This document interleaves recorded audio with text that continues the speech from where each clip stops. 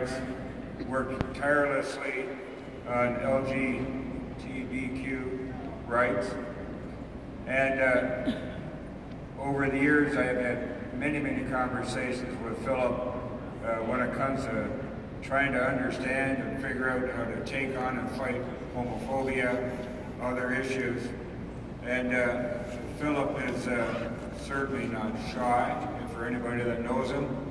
His opinions are easy to understand, and at the executive board, he has uh, represented Region 1 very, very well, mm -hmm. but mm-hmm. also undertaken to represent equity in his way, uh, which is very powerful, uh, very, uh, very guiding, and help the board and others to understand a host of issues. Philip also has a very difficult job. He works with some of the most uh, challenged youth in our province. He, uh, you know, he uh, worked his uh, job uh, lots of times in his region. He wouldn't be able to be somewhere because he would be in Thunder Bay working with a family, or he'd be in Timmins, or he'd be somewhere in the province. His skill set is very rare, very much in demand by his employer and the mm -hmm. youth of Ontario. And uh, he's truly a rather remarkable human being. Brother Phil.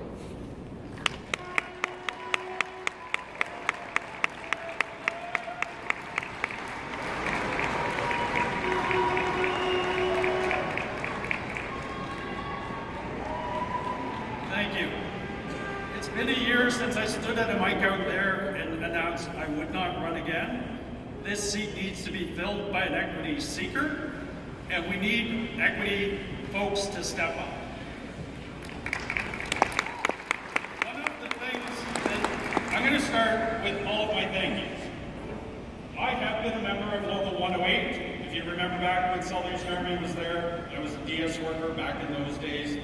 117, the big centers, Oxford Regional Center, 166, Community Living London, 151, Community Living St. Thomas Elgin, back when it was Steamer. 153, I still am a member of the broader public sector and developmental services. And 112, that's my home union. And thank you very much for supporting me for many years to do this work.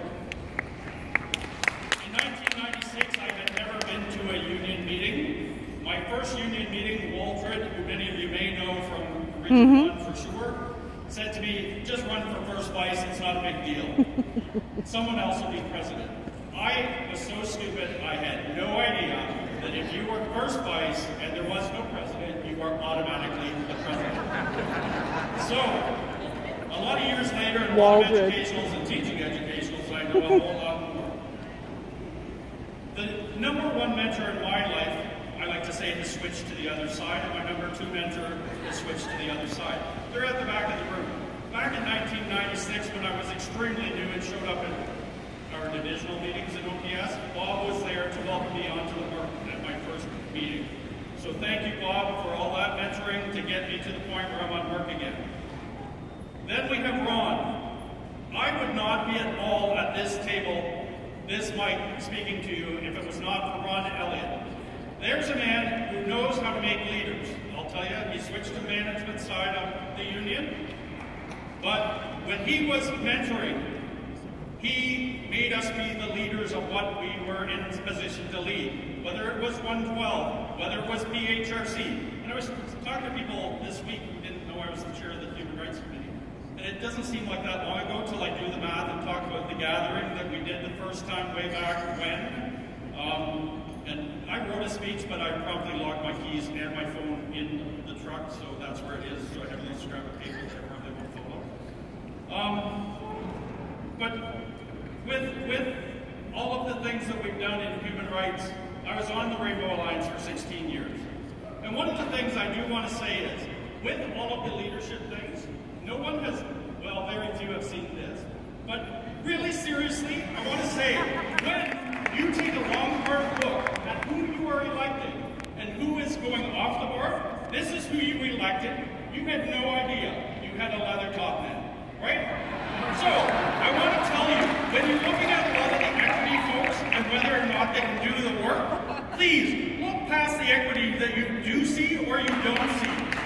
Take a long, hard look at them and put them in these positions. That's where we need to be. You have no idea I had this man in my back closet in my truck.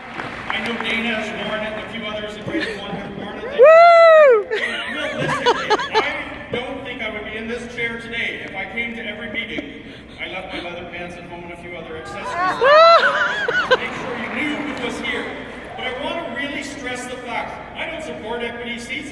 I worked in the Pride Parade. This vest and this hat. We had our first gathering, Leah was the president, she came to see what the heck we were up to in the Marriott Hotel. We declared we would take every seat at this board if we needed to. I want to remind you, when you look around the board, we've had Mary from PWC, we've had Lori, who's still there from PYC, we've had Ken from PYC. There's a lot of people who are taking those seats from equity. Go ahead, take the rest of them, take mine. I declared that I wasn't going to stay, that I wanted someone new to come in. I only have three years till I retire, so get on, I'll help you mentor you. I want to thank Lori, Len, and Jen for taking that seat. One of you's got it. Um, it's greatly appreciated. But again, I want to say the executive board members, especially Ron, who mentored me to be able to do the LGBT stuff when I wasn't really out at work yet, but I was able to go to Rainbow Alliance. Um, and then to take on PHRC, I want to thank folks like Cindy Haynes, who's somewhere in the room. Those hmm. folks mentored me, and we got in the bullying and the personal harassment policy into this union. I want to remind you, in 1996, when I first came on, was the first union to have same-sex benefits in Canada. Hmm. I want to remind you, this was the union, after an assault on me, that we declared we would change the definition of spouse and not ask for marriage. We didn't want marriage if I was gay. I wanted 178 laws in this province to change. This was the union that supported me to get that to Canadian Labour Congress and declare that 178 laws would change, not one. So I think we have a very strong union in equity.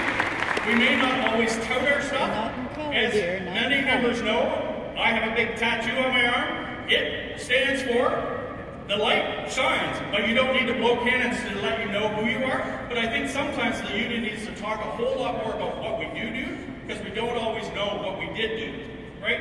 So I appreciate everybody that's got us to this point, but fight like mad to keep it, because Doug Ford's going to destroy it if he gets a chance.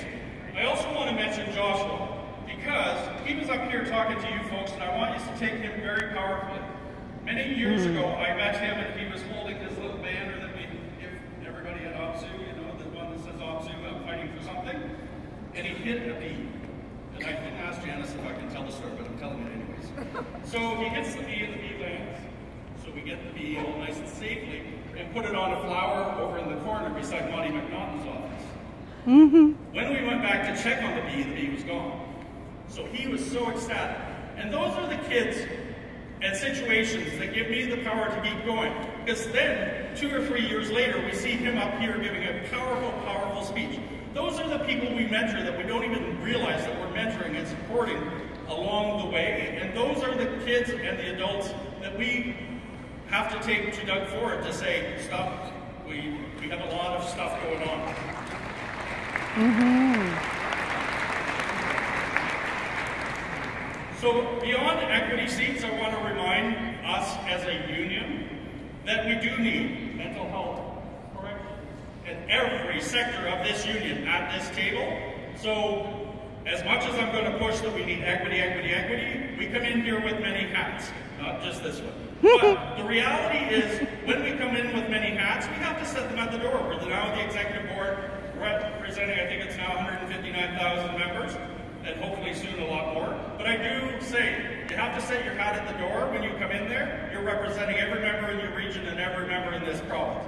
We do it proudly, and thank you. Solidarity, let's go.